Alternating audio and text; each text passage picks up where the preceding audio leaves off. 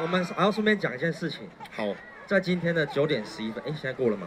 看一下现在几点？等一下没，现在才八点而已。八点在今天的九点十一分的时候，我们要上传我们的新歌、新的 MV。对对对《射雕英雄传》，英雄就在你左边。好，报告完了。你知道为什么反应那么小吗？为什么？有时候你在讲一个消息的时候，你手上必须要拿一个礼物，哦，礼物是不是？你要不然就拿一次礼物，然后重新再讲一遍。哦，